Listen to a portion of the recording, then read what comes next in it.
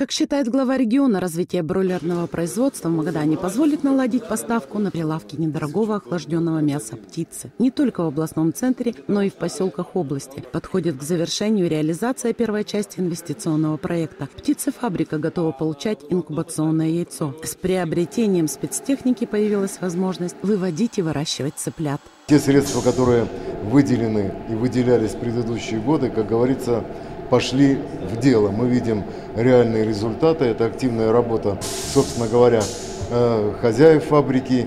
Ну а наши инвестиции в минувшем году на оборудование выделено 17 миллионов рублей, в этом году 25 миллионов. Это невозвратные деньги, это инвестиции в развитие, что, собственно говоря, дает серьезную основу нашему бизнесу развиваться.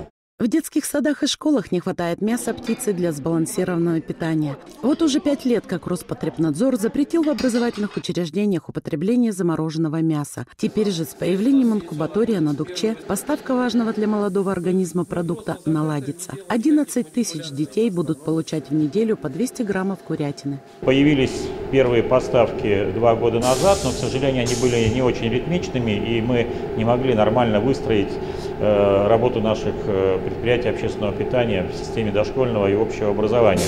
Э, с появлением вот этого полного цикла, я думаю, что у нас все это перевыстроится, и вот как положено, один раз в неделю наши школьники, дошколята будут получать охлажденное мясо птицы и в первых блюдах, и во вторых, поэтому для здоровья детей это очень и очень важно.